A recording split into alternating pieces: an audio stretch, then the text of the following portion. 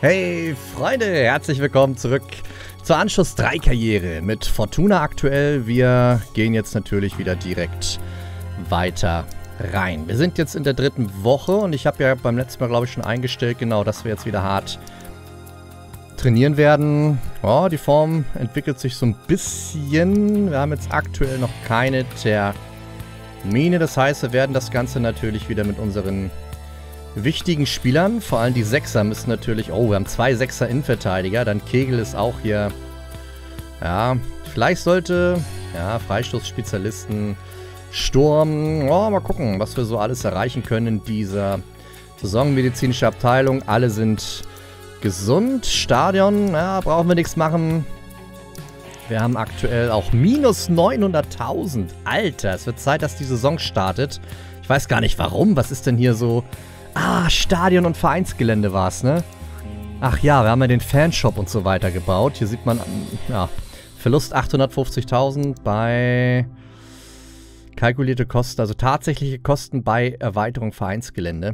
Ist natürlich jetzt ein bisschen doof gelaufen, habe ich gar nicht dran gedacht. Wir gehen rein in die nächste Woche. Wir führen hier wieder, ich habe eure Kommentare noch nicht gelesen, weil ich jetzt relativ, ja, am selben Tag wie die erste Folge das Ding hier aufnehme.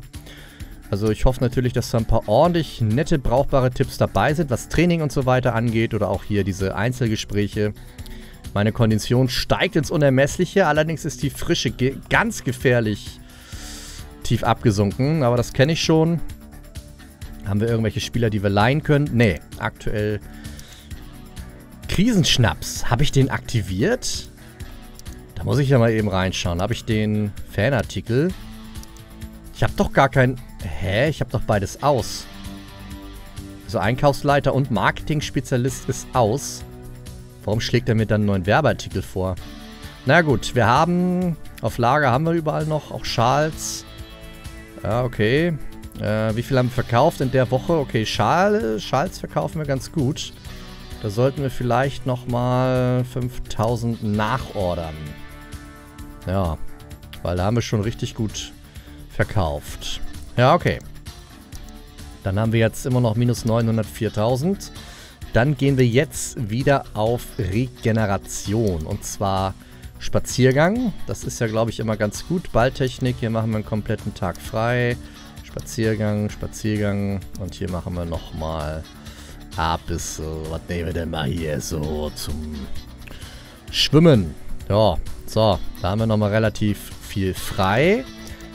Und wir wechseln jetzt in ein anderes Trainingslager und zwar nach in den Anden, genau. In die Anden. Da gibt es dann nochmal Kondition und Frische, glaube ich, oder irgendwas war.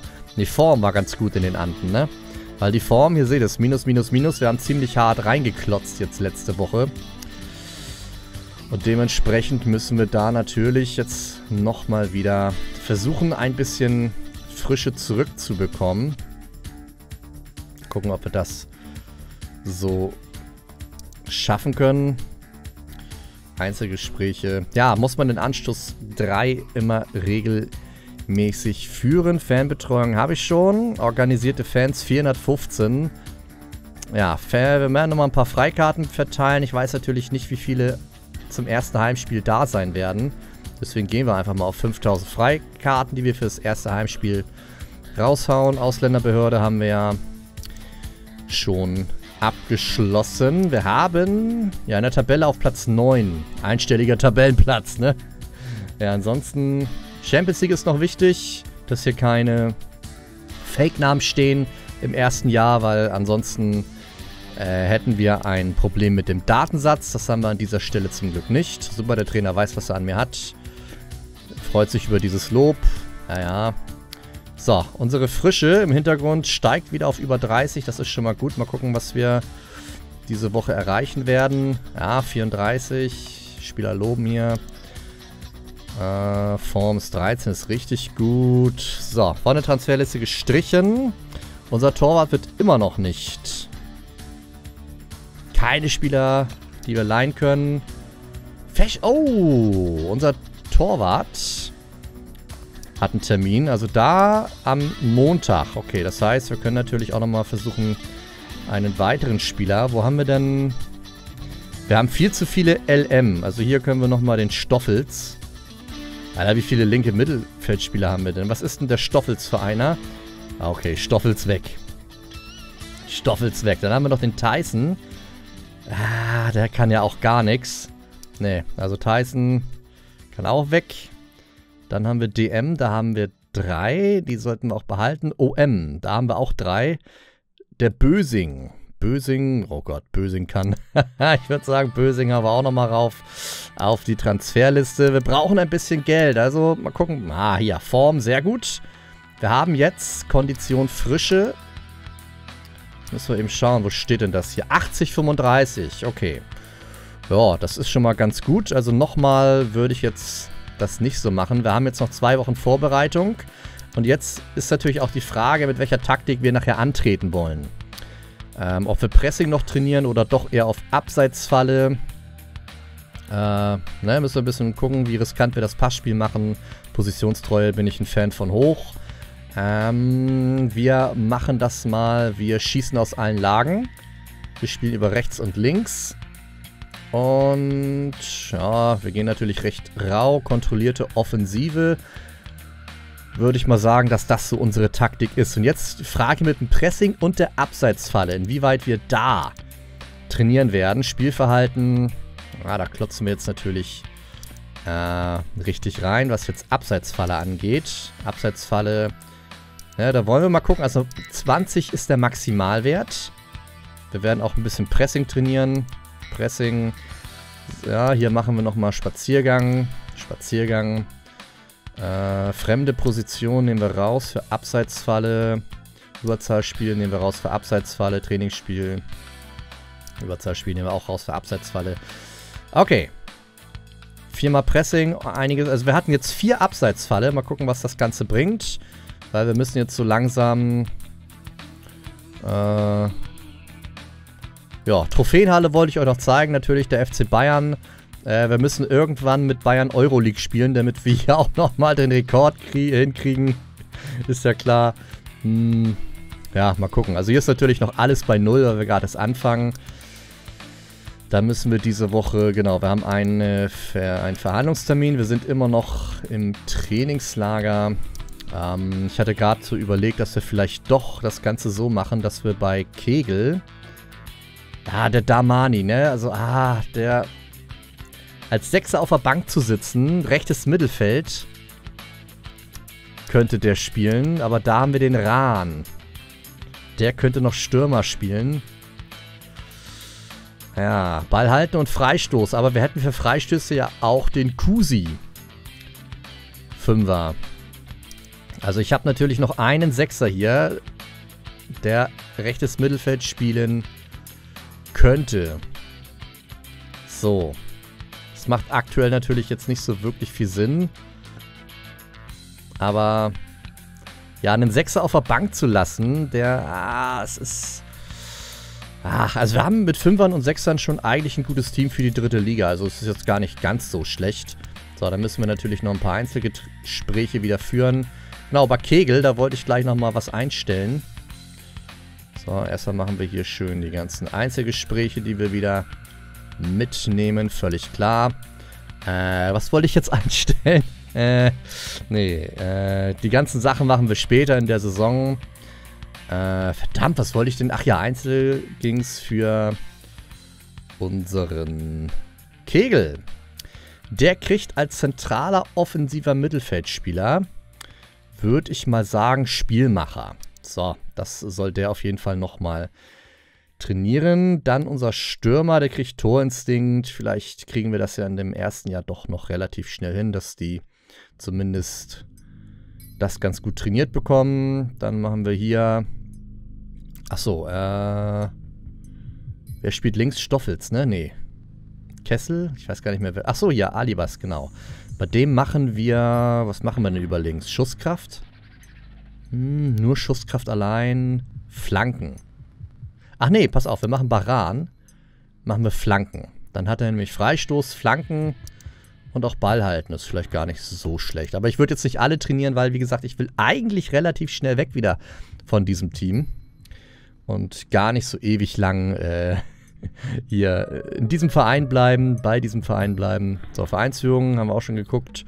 81% Vorstandsvertrauen. Motivation 103, also so ein bisschen... Ah, so. Okay, die bieten 150.000. Das ist natürlich... 160. Oh, oh, oh, oh.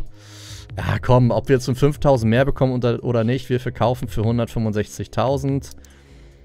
Ja, dann ist der dritte Keeper schon mal weg. Finde ich jetzt gar nicht so verkehrt. Das ist die Champions League Qualifikation.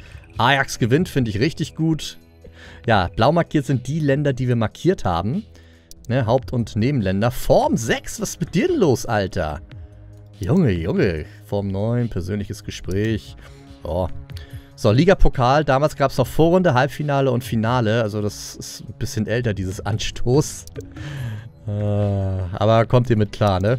So, also heute spielt immer Bayern Dortmund, glaube ich, gegeneinander heutzutage. Und früher musste man sich halt erst nochmal in der Vorrunde qualifizieren. Dann im Halbfinale kam Meister und Pokalsieger, glaube ich, mit rein. Und dann gab es nochmal ein Finale. So, von der Transferliste gestrichen. Unsere neuen Spieler sind mit drauf, aber es gibt keine weiteren Spieler. Es gibt überhaupt keine Spieler zum Leihen. Teuersten Rekord, äh, den Rekord für den teuersten Verkauf eines Spielers verbessert. Yes. So, wir haben... Flanken haben wir schon mal ein bisschen trainiert. Okay, also... Okay, wir haben Pressing, ist schon mal hier. Ne, da, das sind wir jetzt. Das ist der Gegner. Und wir haben Pressing schon mal ganz okay. Wir haben eine Kondition von 80 und eine 51er Frische. Nee, äh, Quatsch. 30er Frische.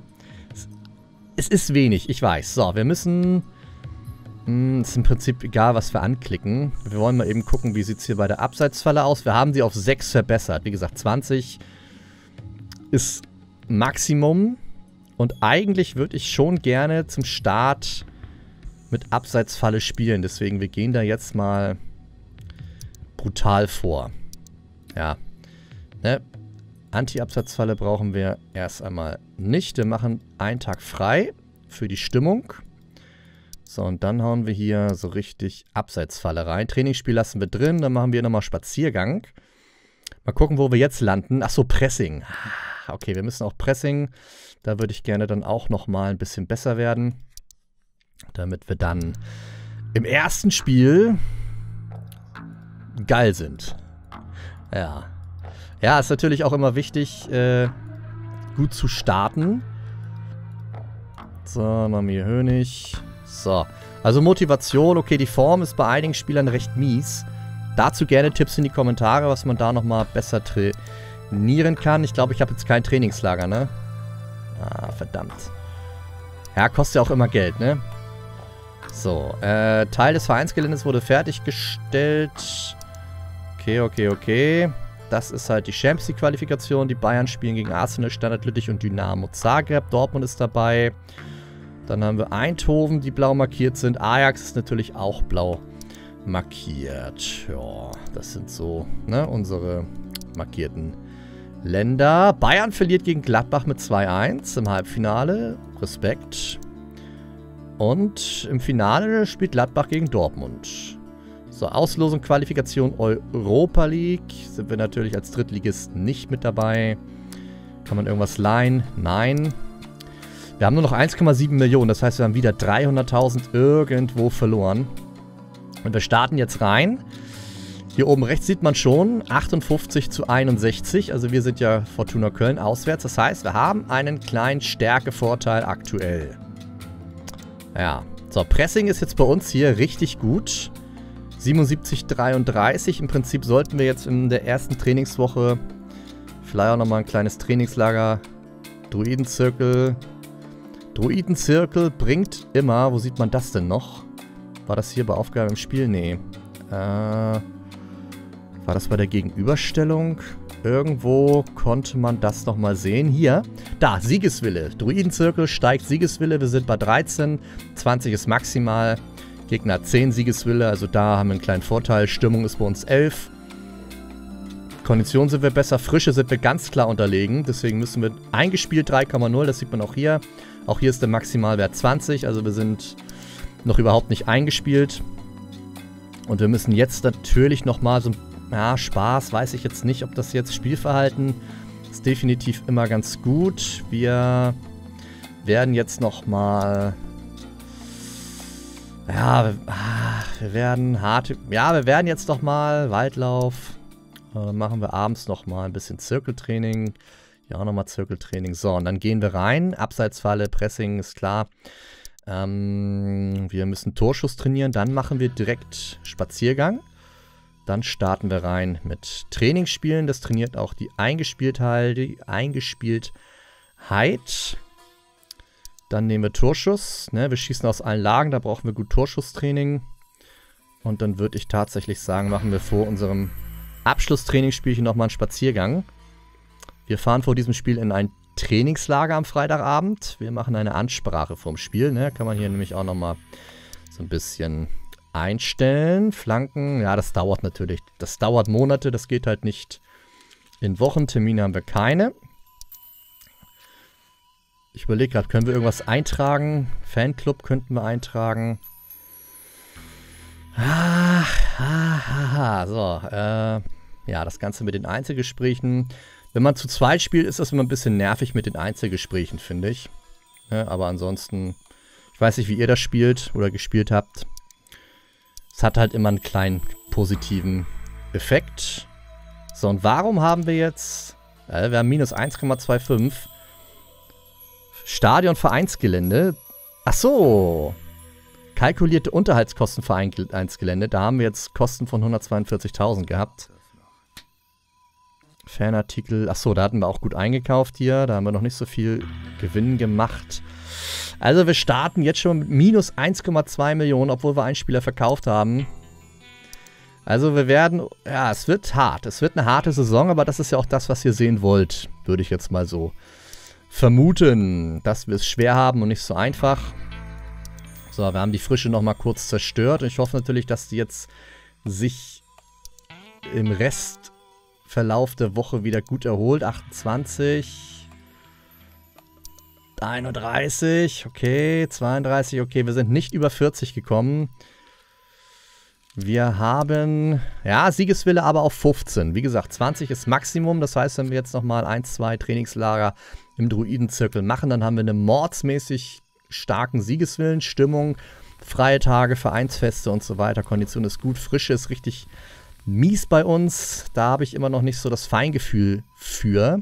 Pressing ist wunderbar. Abseitsfalle ist bei 11. Also wir werden noch nicht mit Abseitsfalle spielen, aber mit Pressing. Weil da sind wir richtig gut. Sondersiegprämie können wir uns leider nicht leisten.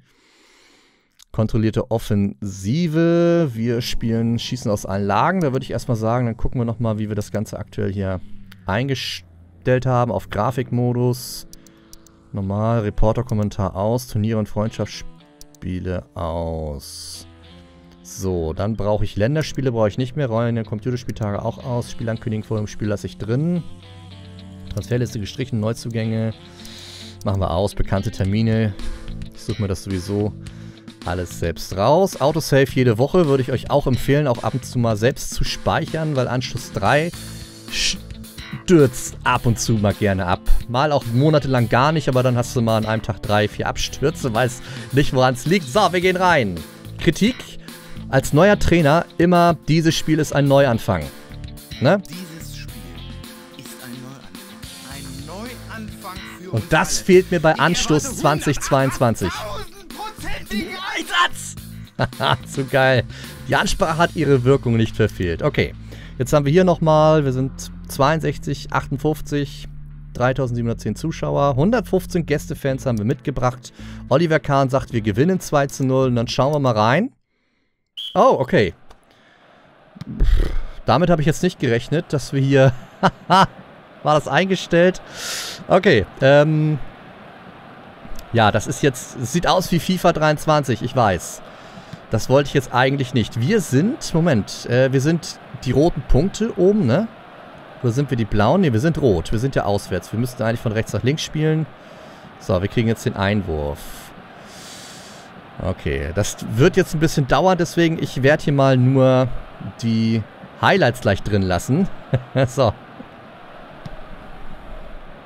Wow, an die Latte von Cottbus nach Freistoß. Und dann hält der Keeper das Ding. Okay, erste gute Möglichkeit für Energie Cottbus. Oh, Energie Cottbus, 16. Spielminute allein aufs Tor. Das ist der Rückstand. 1-0 für Energie Cottbus. Hier die Wiederholung. Oder läuft schon weiter? Ne, das ist tatsächlich die Wiederholung. R oben rechts steht für Replay. Und Wumms, da ist er drin.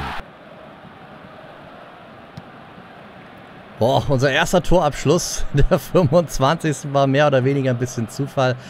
Ja, also was hier diese grafische Sonderdarbietung angeht, sind wir etwas unterlegen. Raus Spiel, das war der erste Freistoß. Oder unser erstes Foul. Und schon wieder, ja, ja, wir gehen hier richtig raus zur Sache und es gibt Geld für Marc Brasnic. Oh, das könnte direkt die nächste gelbe Karte geben. Gibt es nicht. 32. Minute Freistoß. Ach, der geht aber gnadenlos daneben. Oh, Flanke und... Uiuiui, das war gar nicht so schlecht. Richtig gute Möglichkeit. Gibt Eckball. 36. Spielminute. Das Ding kommt per Kopf auf den Keeper. Fast der Ausgleich für die Fortuna. Wir bleiben dran. Hand. Ich habe da Hand gesehen. Aber es gibt hier nur den Einwurf. Also jetzt zum Ende der zweiten Halbzeit sind wir dran. Fanrufe, Wahnsinn. Mike Kegel in den 16er. Versucht es selbst. Keeper klärt zum Eckball. Nächster Eckball in der 41. Spielminute. Bei Standardsituationen sind wir richtig gut und das ist der Ausgleich für die Fortuna. Schwach angefangen, aber dann haben wir uns richtig reingebissen in dieses Spiel. Und jetzt steht es 1-1, kurz vor der Halbzeitpause. Oh, Keeper hält. Da wäre es fast vor der Halbzeit nochmal passiert, dass wir ein Gegentor bekommen. Ah, Nachspielzeit der ersten Halbzeit läuft. Also ich finde es ganz gut, dass es jetzt hier nochmal drin ist. Für die, die Anschluss 3 nicht kannten, so sah es damals aus. Äh, für die nächsten Spieltage werde ich es ausstellen. Da werden wir dann nur die, ja, die Ergebnisse bekommen. Und das reicht für unsere Zwecke auch.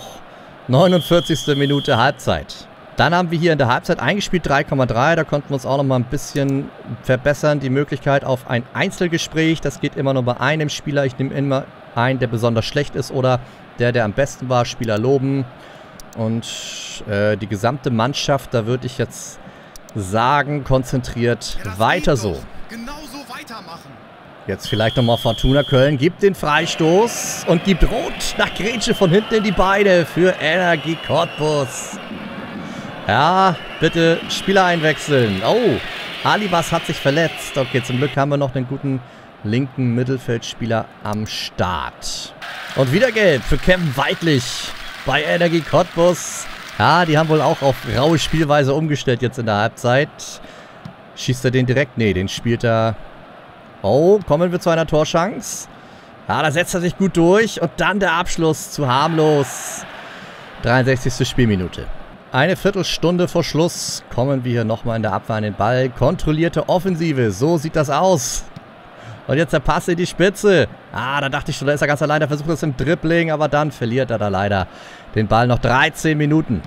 Im Prinzip ein schöner Seitenwechsel da auf den linken Flügel. Kommen wir dann nochmal zu einer Flanke. Kommen wir da zu einem Kopfball. Leider ein bisschen harmlos. Wir setzen gut nach, aber ich glaube, jetzt kommt uns auch unser Schle unsere schlechte Frische ein bisschen entgegen. Also nicht entgegen, sondern äh, rächt sich gerade, dass die Frische nicht so hoch ist. Nochmal die Flanke. Ah, die war nicht gut. Also wir sind offensiv wenig Präsenz. Es sind noch knapp drei Minuten. Vielleicht jetzt nochmal. Kontrolliert natürlich. Ja, der passt schön. Schießt. Er schießt auf den Keeper, der hält. Schade, das wäre es gewesen. Jetzt läuft die 90. Minute. Ja, Spielstand in der 90. Mal gucken, wie lange der Schiedsrichter nachspielen lässt. Ob wir nochmal eine Torchance bekommen. Nein, das war's. 1 zu 1 in unserem ersten Spiel.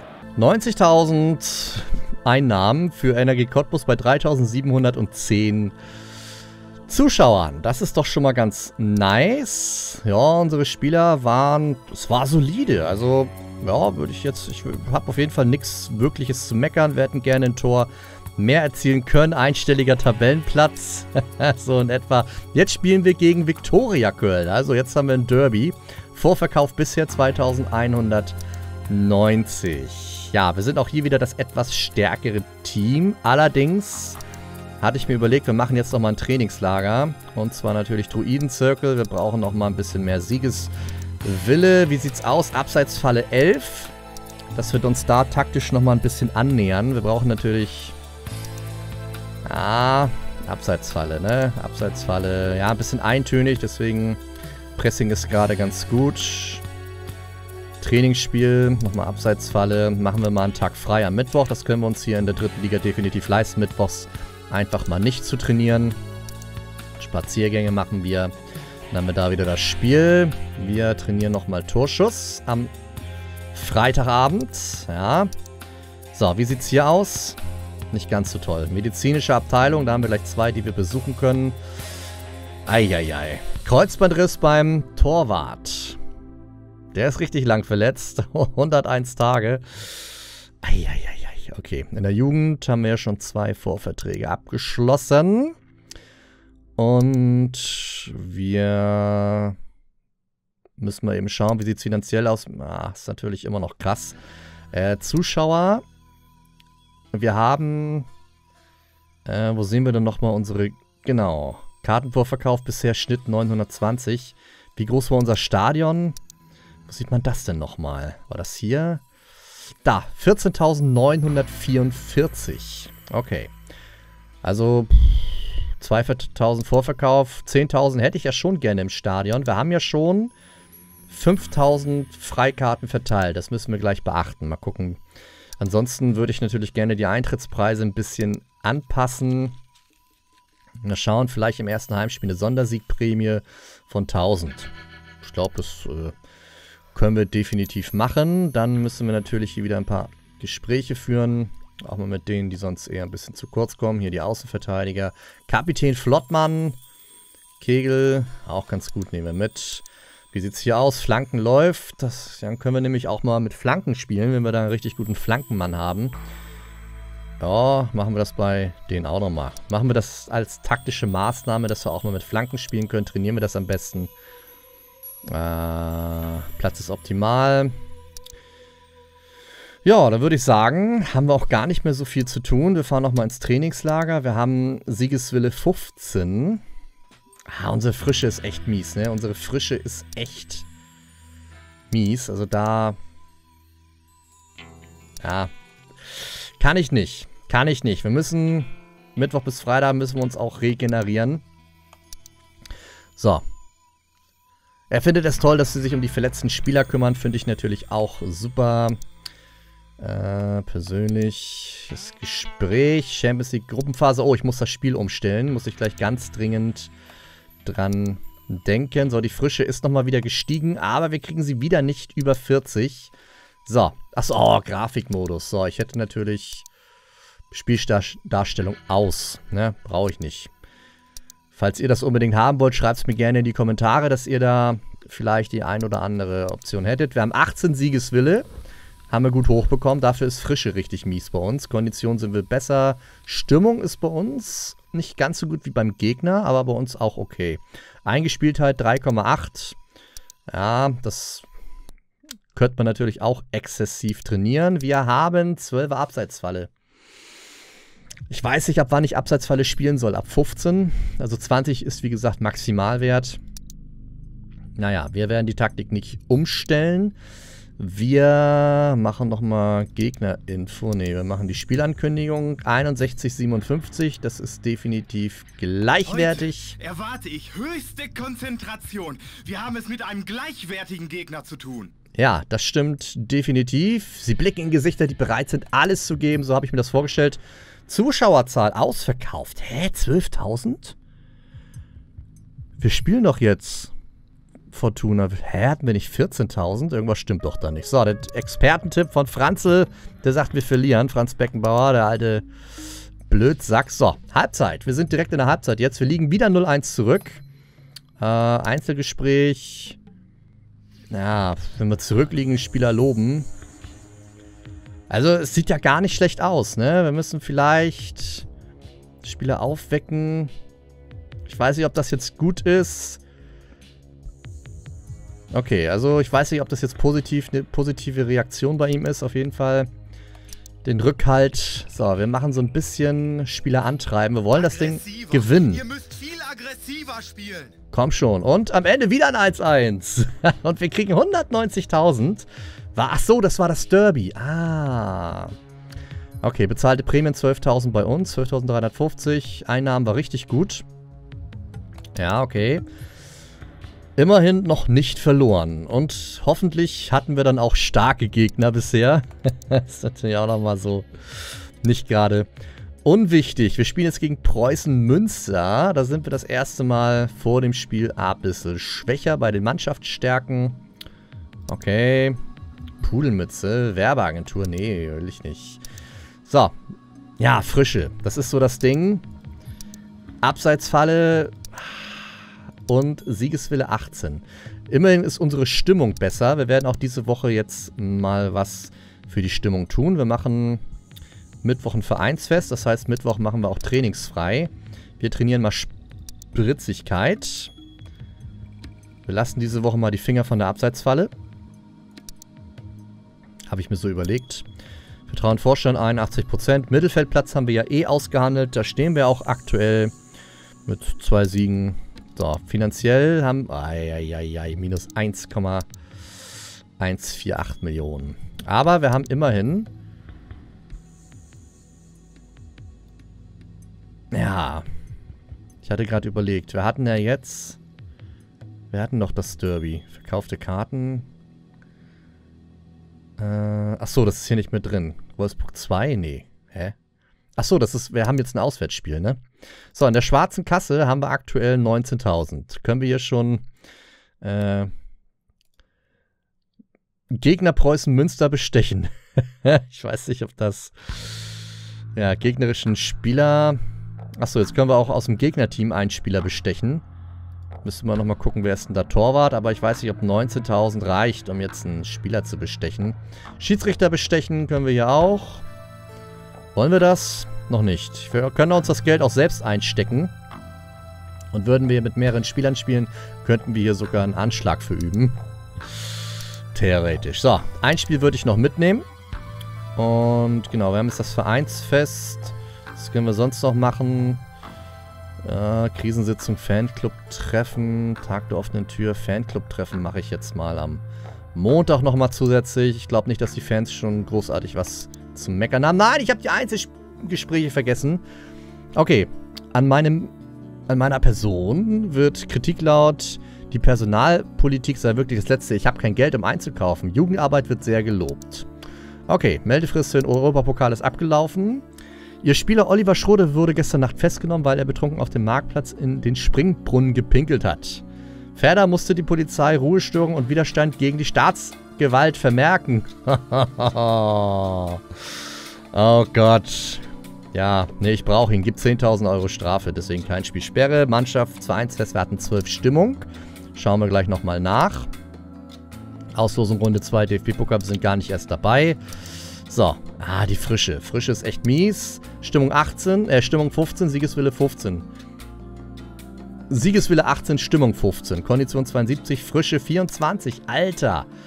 Wieso habe ich da gerade so Probleme? Abseitsfalle ist bei 11, ist wieder ein Punkt gefallen.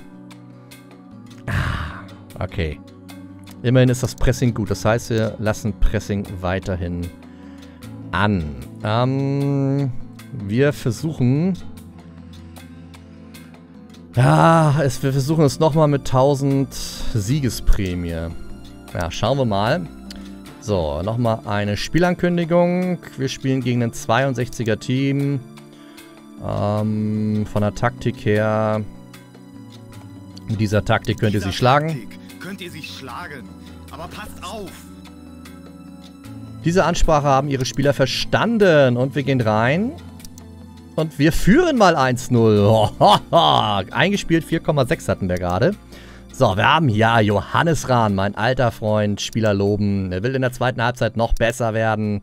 Jawohl, so stelle ich mir das vor. Deswegen mache ich mal Spieler loben. Ja, tadellose Leistung. Wirklich äh, tadellos. Ich kann das mitsprechen. Nein, wir verlieren noch 2-1. Das ist doch nicht zu fassen. Ah, woran hat es hier liegen? Ja, er ist in der zweiten Halbzeit nicht besser geworden, aber Uaferro ist besser geworden. Wir haben das Spiel noch aus der Hand gegeben. Habe ich mich wahrscheinlich vercoacht. Wir sind auf einem Abstiegsplatz. Alter Falter. Okay, und jetzt haben wir VfL Wolfsburg 2. 802 Karten sind vorverkauft. Okay, wir stolpern in eine Krise. Mehr in der nächsten Folge. Vielen Dank fürs Zuschauen. Bis zum nächsten Mal. Ich sage wie immer Ciao, Tschüss und auf Wiedersehen.